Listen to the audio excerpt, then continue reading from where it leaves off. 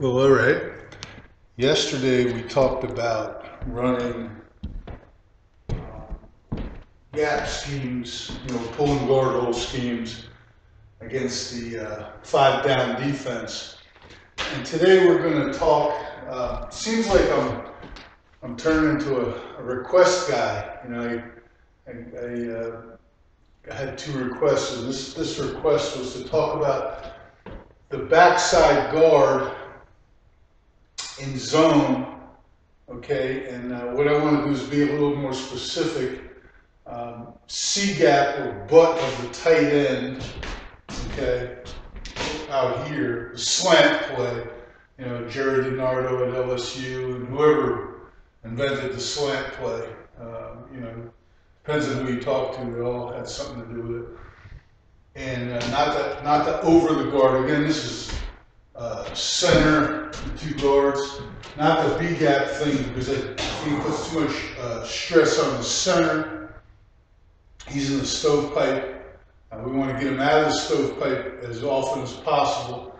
So the C gap moves it out and it allows him to be an Apache, okay, and encircle the gap rather than get in front of a guy who's, you know, breathing fire and and blowing snot is probably the nastiest guy on the, on the defense, the, uh, the nose guard. Okay, and I'm going to move this guy out and, turn him into a five technique because the question seems to be the under front. Okay, so really what we're going to be dealing, dealing with is a shade on the center and a three technique on the backside guard. And what I'm going to do is, uh, just to make sure that everybody knows who's who and what's what, This guy will be the shaded nose, and that guy's the three technique. Now the, the three technique is, is usually very similar to the shaded nose. Uh, in my opinion, the three technique is the key to, to attacking four down defenses. How do you handle him? Because he's a, he's a tweener, you know, like he, he generally has a, a big guy outside of him. He's, he's on the outside shade. It's hard to cross his color um, you know, get the ball past him, and that's where the scoot and what have you came from. Uh, but we're going to talk about going away from him, and we don't. I I'm not into checking to the shade or any of that stuff. For me, it all starts back here with the safeties. Okay, so if we're checking into a down safety with a basic one back scheme, we're, we're generally punting. Um, so we, we try to get up there and just run it. We want to move the safeties out if we can with formations or at least acknowledge them. And we're certainly not going to check into a down safety and try to make yards on it. Um, you know, in the goal line, you get stuck. Everybody's a down safety. We generally like to put somebody in front, an ins insert blocker to soak up the, uh, you know, the trash, the safety, whatever you want to call it. Okay, uh, let's just let's just go and move. Again, we're uh, we're trying to avoid the tackle for loss or TFL.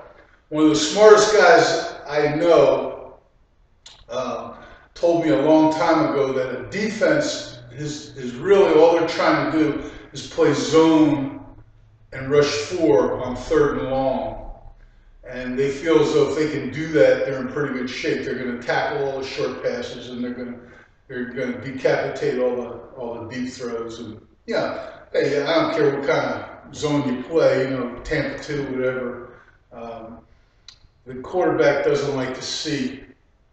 And when I say zone, I'm talking about split safety cover two the, the quarterbacks don't like to see that. They, they have to throw the ball to their tight ends and slots. And if you go if you go four wides and third and long, you're going to get twisted. It's a, it's a mess, you know.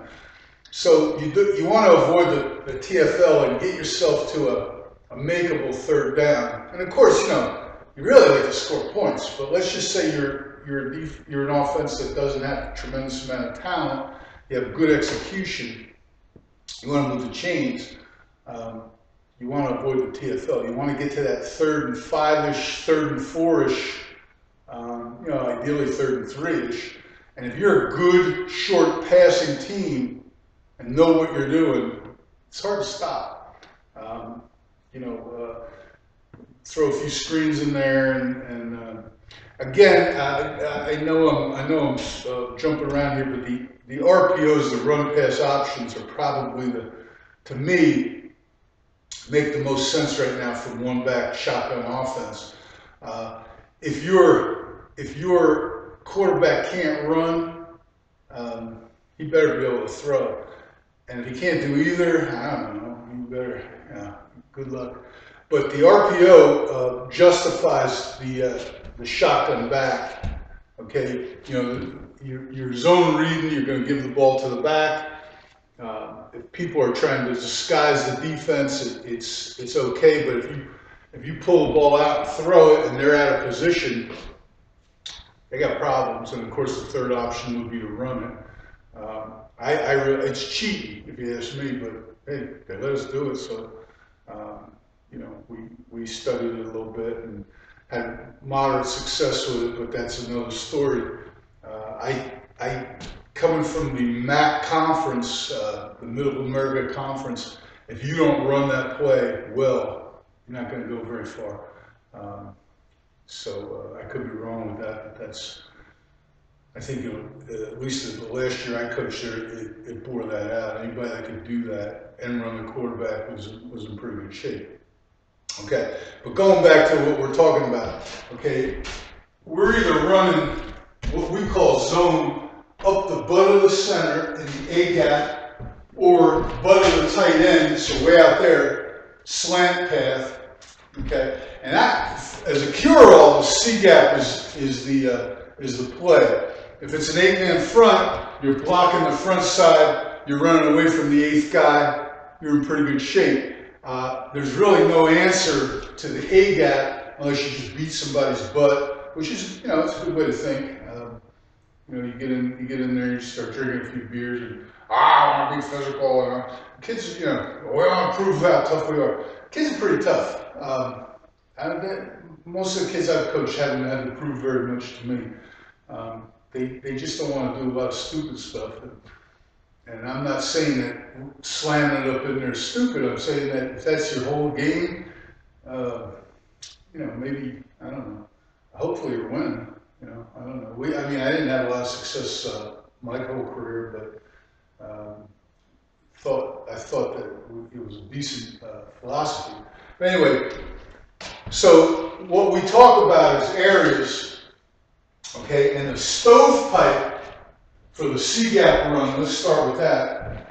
Is the play side guard to the tight end. When we say stovepipe, we mean the area that the back can legitimately react off of blocks, make the blockers correct, okay, we say make them right, and not screw anybody uh, by cutting in the backfield or bouncing the ball and making the linebackers run and chase them. I, I say that I say to running back coaches all the time, if you're the running back and I'm the linebacker and you run over there, where do I go?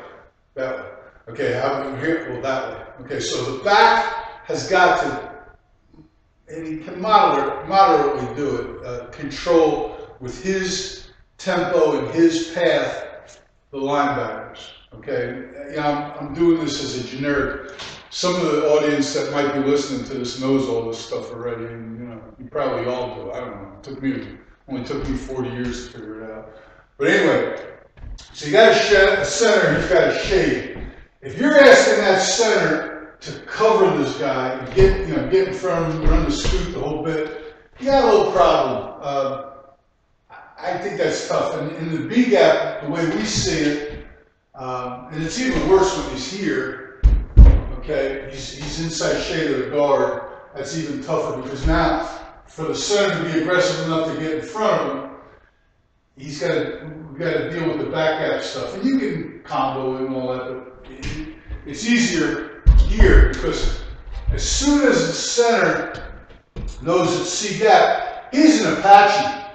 And what we say to the center is this, we, we'd like to skip if we could, but we can't because uh, of the ball. You know, the ball is part of the problem, the, poor centers. the ball, you gotta snap it, it's, I don't know if you guys noticed that, the snapping is, is uh, difficult at best. Also, in the shotgun, if the back is over there, more than likely you're running over here, so the defense will, will melt a little bit that way, or they'll, they'll at least be aware of it. And your whole job in the shotgun is to counter that back with the quarterback or RPOs or whatever. But anyway, let's go back to what we're talking about. So what we say to this center is because you're in the Apache area, okay, and the ball is being run way out here, okay, you're going to encircle this nose, okay, what we, what we say to the kid is this, we want to go, we want to step deep, okay, present our shoulder point, and if we want, we pop out into air, we want to get square. But we want to protect this gap first, and if we do pop into air square, we want to stretch and stuff the nose back. If you got a big fat nose, it doesn't really matter, you know, you just run out there all the time. It's these really good players, you want to stretch and stuff them. Okay, generally speaking, the nose will go with the center, and what he winds up with is grabbing this guy, and now he's in the stovepipe. Okay, and he, he the back can make him right. The back, if he can take this guy and drive him to the reach spot, the back can legitimately get behind it without screwing up the front side guard and what have you. Okay, the keys of the back has got to stay on course uh, at least until he hits the line of scrimmage. Okay, once he hits the line of scrimmage, he can jump cut, do whatever. Okay. All right, now, let's sit, let's, the, the question is really the backside guard. So what we're talking about here is a backside guard who's also in the Apache, the circle. And everybody, I used to do it, everybody does it, or some people do it. I don't do it anymore they, they try to really hit this guy. You know, they want to blow snot bubbles and, you know, really be physical and get movement and all that other stuff. Well, we're running way out there. We don't, we don't want to get movement. We, we want to eliminate pursuit. Okay? And, you know, you can get a little hairy with this. You can't have, you can't have that guy driving you to the reach spot. Okay? I heard, I heard a pro coach talking about this. It's okay if he goes to the reach spot, but you got to be driving him. All right? And let's face it, if that guy just wants to rock, okay, or, or, or if he just wants to spike long stick, you're not going to stop him. You got to block him, okay? If he just wants to rock a little bit, you could probably Apache circle him. And by encircle, he's Custer, I'm the Indians, okay? And what I want to do is encircle him and get him behind where I can't see him, get him to my blind side, and the tackle will scoop him up, or we'll read him. We've had a little success reading the three technique on C gap. It's pretty good. Okay, so what he wants to do is delay, not avoid, but delay contact. And this is really, you know, I try to get rid of this, but I can't seem to do it. He wants to take a shuffle step. He wants to go here, step deep, and then balance himself up and become the big tree. He wants to be condensed because if he gets a, a jump through nose or a spike, he doesn't want to get knocked over. So he wants to become the big tree. He wants to take a shuffle step. He can't scoot. I tried doing this, and it's okay if, if the defense is moving, but it's not good if they if they're just uh, playing gaps or attacking men. Uh, he shuffles and he roots he condenses and it becomes fundamental. But what he wants to do is make sure that he's got mixed hands, okay, and he wants to not let this jump through nose come around the center. If he does, he's got to grab him, and it's that's pretty easy. Okay, he also wants to be able to stretch the nose and define him for the center, and since he is an Apache and he's stepping deep, he's actually got to look at the nose as though the center isn't there and make sure that he can encircle the nose, okay, if the nose stands there. So what he's thinking about is the gap first, not the man. But if he stands up, if he uncondenses, he is going to get hit by this three technique. Okay? So what he wants to do is and be condensed. The thing will happen, it's going to happen fast, okay? You can get an idea from the noise in the secondary what's going to happen. If you got a down safety over here, you know, we got the tackle over here yelling, strong, strong, strong, and he knows that there's a pretty good chance that that nose is going to jump through, so he can speed himself up a little bit. If he's got quick, quick, quick, okay, he's got a pretty good idea that the three is going to come with him. If he's got high safeties on both sides, really doesn't have much of an idea. And, you know, in pro football, I think it's easier to hide the safeties in 10.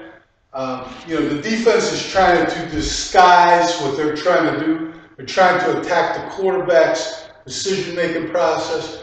The quarterback is trying to attack the defense's communication, okay, by working their cadence. You know, guys all want to run plays and all this other stuff. I think you want to teach that quarterback how to shift gears, how to use his cadence to confuse and undress the defense. Make them show, make, uh, and even better, make one show and the other one stay so that there's a big split between those safeties. Okay, and all the great quarterbacks, you know, I, I haven't been around a lot of great quarterbacks, but this, these are the stories I hear and you can you can actually hear it on TV. Like if the Patriots are playing at home, you can hear Brady, you know, hey, hey, hey, he's back. That defense is showing. And um, Andrew Luck's pretty good at it. You know, when they're playing at home, you can hear that. You know, and of course they once they undress, they give them the kill kill or the alert alert, and everything's good. They kind of know what they're doing. Of course, the defense wants to check it, but at least you're making them communicate. You're attacking their communication okay, which is what you want to do, because they're all isolated, okay, and all they can really do is hear. They can see us, but they, they got to listen to each other. And the guy that's got to do all the talking is way the hell back here. He's, he's deeper than the quarterback, so you want to attack that, okay? Uh, that's just me, okay? But anyway, getting back to what we're talking about. If this guy does not convince, he's going to get knocked over. And what he wants to do is keep the shoulder down in case he gets attacked. Now that, that right there is simply stance, if you look at it, okay? And what he can do, we've, we've done this, we've, we've used this, if he does get attacked two gap, and to me two gap is when the defender attacks you rather than the gap, okay, he can Mayweather or chip and rewind and really shut that thing off. You notice the shuffle puts you in what Jim McNally refers to as the high leg. I just call it the, the stagger. I don't know. Okay, one foot in front of the other with the shoulder down, and you can either rewind or Mayweather and knock that guy back off you. But what you're trying to do is set him up, get him a little unrooted, a little unsettled, and the tackle's going to kill him. Okay, now, of course, we, we, we like skip, we like reading this guy in shotgun, uh, but we like skipping, but we've also, because of uh, people uh, criticizing the skip, we've, we've also done the arc. Again, if we get color, Apache, do not have your tackle go at this guy. Have him encircle the guy. Have him step deep. Turn his shoulders. Get that shoulder low get that hand in front of him and encircle the guy. And do not have your tackle do this. Do not have him take a big second step because he'll get knocked into the backfield. He wants to get that first step very deep, his arc. He wants to shorter crossover so that he can quickly plant his foot again. And the, believe me when I tell you, the key to this is condensing condensing, condensing. And the key to condensing, I hate to say this, we used to call it posture, big chest. It's really your stomach. Okay. When I squat down and I suck my stomach in, I can get a little lower, a little lower. I just keep sucking that stomach in. And I am in better position. I made myself shorter and less of a lever. I can resist force and I can change direction easier. Okay, when my when my uh, center of gravity is too far from the fulcrum of the feet, it's harder for me to change direction, and of course, it's easier for me to get knocked off balance. I want to be stable. I can get hit, but I don't want to lose control. That's the that's the definition of stability. Do not lose control. Okay, so here's my man. He literally roots his feet, and he's never going to turn the motor off but he's trying to figure out what's going on. He's in space. He's created a red light. It's a space. There's no one really within striking distance. Now, nothing happens. He can come back and rewind and chip. We started calling this fat lady when it was part of a fat lady in a, in a uh, buffet line, you know. She, she forgot to grab the turkey leg. She comes back and grabs the turkey leg. Boom! Okay? Now, if you go up the field, you're creating a seam. This guy's going to beat the tackle. There's nothing the tackle can do. The jump through might happen late. You can't attack pursuit. The, cro the cross, uh, the double X's are going to kill you. Okay? So you don't want to go up the field. But you don't want to hang around forever. If nothing's happening, okay, you're in a shuffle. The third shuffle, you get on course to get that line linebacker. Okay? Now, the beauty of it is that's that pace, the red light pace. You've created the red light. Okay? He rocks out, he rocks out. Something's coming to fill that thing. A looper, backside guy, whatever. You're waiting, you're waiting until there's something for you to hit until you can't wait anymore, then you gotta go. Now, guys will say, well, you never get the back bagger. You know. Yeah, I, I agree. Well, we, we don't get TFL either. Uh, I think we, I don't know how long, I don't know, since uh, we really started playing with this at Elon, um, the red light, and we didn't call it that, but uh, I mean, we're top five in TFLs every year. Um, that, that I've coached offensive line or, or had any influence on the offensive line that we were you know, good at it. But uh, not blowing my own horn, I'm just telling you why we do it. We don't want to get TFL'd. Okay? Is it as physical as snap bubbles yet? No. Okay, but if a defense is, is not sitting there, if those sons of guns would just sit there, we could kill them. You know, but they don't. They move around and they, you know, they pirate and they do all this stuff and sometimes they charge and sometimes they don't. And to me, the tips of the safeties and the alignments of the backers also. If you have a backer that we what we call a bandit or a burglar, if he's cheated out, pretty pretty sure you're going to get a, a, a you know a, zone dog. Same thing over here. Okay, the backside. But anyway, that is what we say to the guard. Now, as he goes to brace, if there's a jump through, just get right into your Apache. This guy's helping you. Go past him. Don't block him. Don't drive him in. Try to get him on your back shoulder. As you're going, you're looking in that gap, the C side. You got to have periphery. I can see this thing. I can see it. As long as I don't do this, now I can't see it at all. Okay, if I do this, I can see it, and then I can step up into it.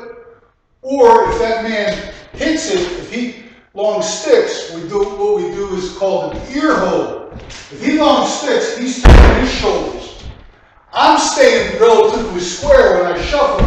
If I see that ear hole, I just grab it and drive it. We practice this all the time. That's that's our Apache drill. We get a guy nose up, um, and we you imagine your nose up, and I take the long stick, and you're encircling. Well, you're going to intersect me right in the ear hole and you're going to knock the dog out of me. Okay, now, can bad athletes do it? Eh, bad athletes can't do anything.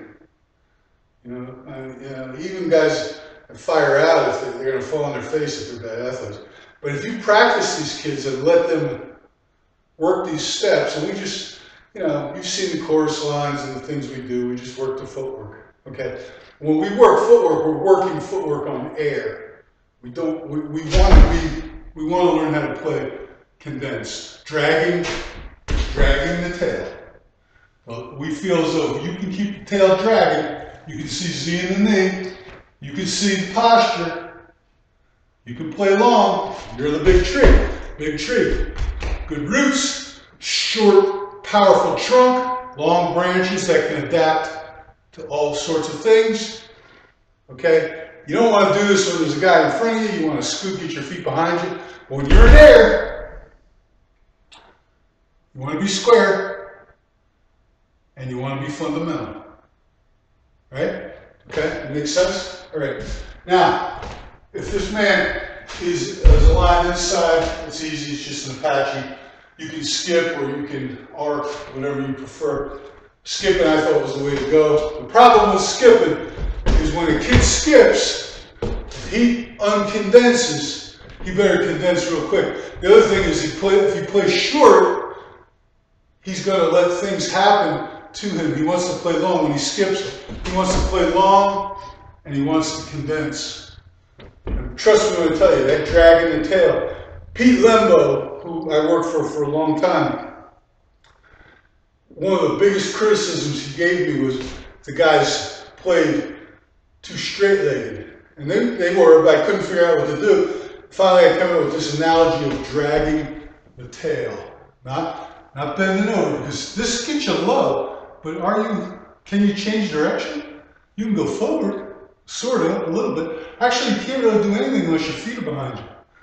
Okay, but this makes you a smaller target. You're easier for you to change direction. You're much more resistant.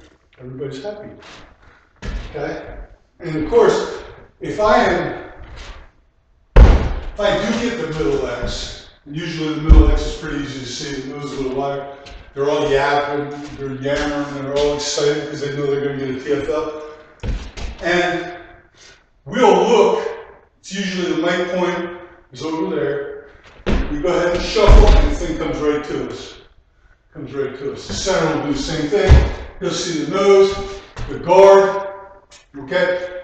He's going to shuffle off. If it's yellow, he knows that he, he can downshift unless he's got, he's always going to look at the five technique. Generally speaking, the five technique in middle X is going to be wider. There'll be a safety down.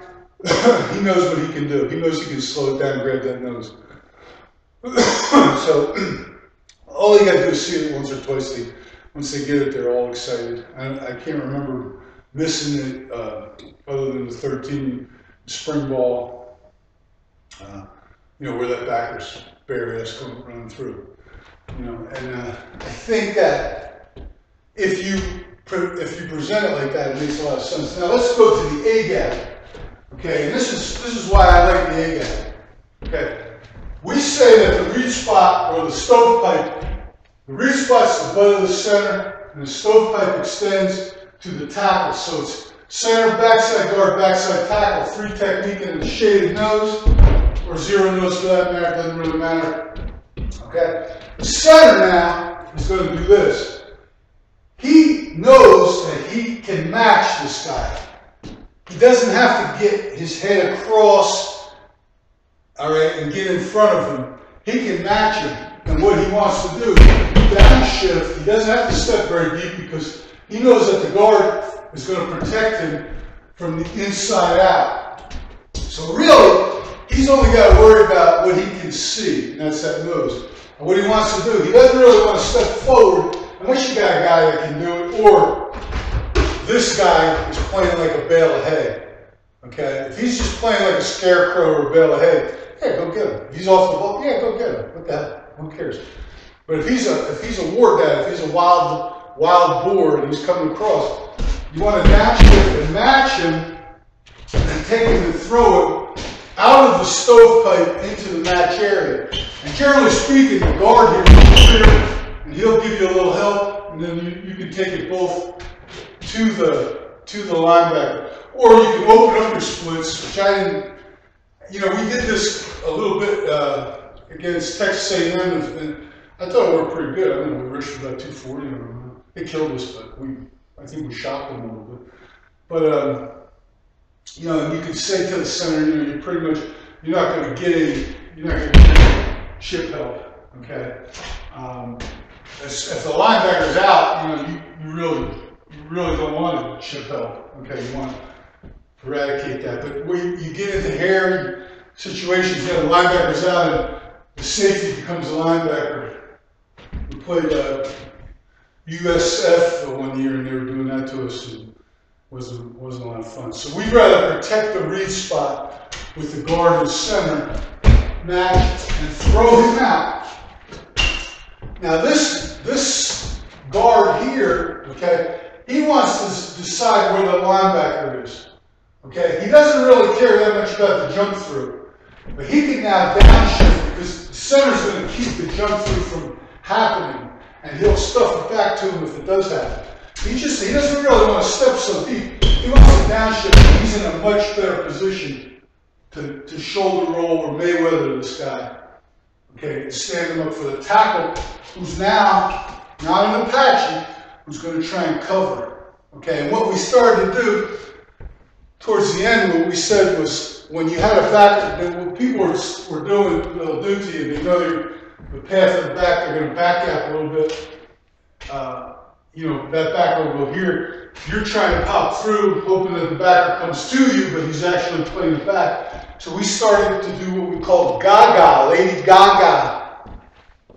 You know, you go to a Lady Gaga concert, you're, you know, you're doing all this, Lady Gaga, and she jumps into the audience and you grab her and you, you pass her. You know, she's body surfing you pass her to the next guy. Of course, if you grab Lady Gaga short, you know, you're getting all her sequins and her, all that crazy shit she's wearing. It's dragging across your face.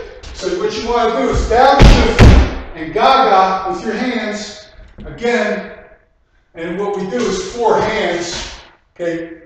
So the guard will just say, "Add backwards to what? Gaga." He doesn't care about the moves. The center's going to protect him. It's a gap. The center doesn't have to run out of there. He doesn't have to attach you. So gaga. Okay? And if the backer's here, and of course we have train signals and easts and wests and spots and all this other stuff. Uh, in other words, if, if, we have a blind mic point, the center will just go, oh, screw this. Everybody go north. Everybody take a step and block what you see. Because you're probably going to, you know, you're going to get some kind of twist or something like that. If the quarterback's pointing backside, there's something going on. Okay? And I don't want to get into that right now because that's a secret and uh, I already said too much, but not that I'm coaching. I, I'm pretty good at making pizza. Okay. If the linebacker is fully wide, if he's clearly a burglar, okay, the guard can pretty much say MMM, and the tackle, he's getting into this too. MMM, okay, which means man, it's pretty secret language. M, M, M, M, man, probably say Homer Simpson. And now the tackle was in probably one of the best teams I've ever seen do this was Western Michigan. And I was like pissed because they were doing it way better than I do. So they make the end call, kind of give up on the guy, they can even rewind on the read. Okay, so if the linebacker scrapes out, they can shut that read off. Uh, Bob Wylie uh, talked about that years ago when I was helping him up in uh, Winnipeg one time. Um, you know, placement of the backers. Now, what you see is not always what you get. In college football, it's a little easier. In pro football, I don't know because I never coached pro football, but it seems like they, they do a lot of good disguise. They're always in the middle of the field and you know, whatever, and that's where your quarterback's got to be good. But anyway, that is what I have for you on the backside guard. Once again, for C-gap run, where he's in the Apache, where he has to protect the area first, and give help later, or where he's in stovepipe, where he's got to decide whether or not he wants to hand this off with a, with a shoulder roll to the tackle who's going to cover it, and the back is going to make him right, or whether he wants to go Lady Gaga. Again, the Gaga is a downshift first, a downshift, okay, not so much pick up the nose, but you downshift so that you give the tackle some access. Okay, if you do that, you shut each other off. I, I listen to guys talk about shoulder to shoulder, hip to hip. And I think shoulder to shoulder and hip to hip works pretty good. If these are the two blockers and I'm the defender, He'll get shoulder to shoulder, but as soon as this happens, he can't really get his shoulder on me, all right? And I, but let's, let me, let me flip it around. Okay, let's say it's me and Woody here. We want to go shoulder to shoulder on this nose guard. Well, that's pretty easy. Okay, we can do all kinds of footwork. Okay, once this guy moves over, it's kind of like if he two gaps, how do we get shoulder to shoulder? So we don't even practice that. We practice gaga based on where the linebackers are. We have to give access, have to play long. If you watch the videos that I posted, and they're, you know, it's all a good place, but uh, you'll see that we're, we're, we don't have a lot of problem with movement, um, picking up movement, and we, we get pretty good punching at E gap. So anyway, that's all I got. Um, hope it covered some things. Um, I do take requests, I guess. This is 35 minutes, probably the longest one I've ever done. Okay, bye.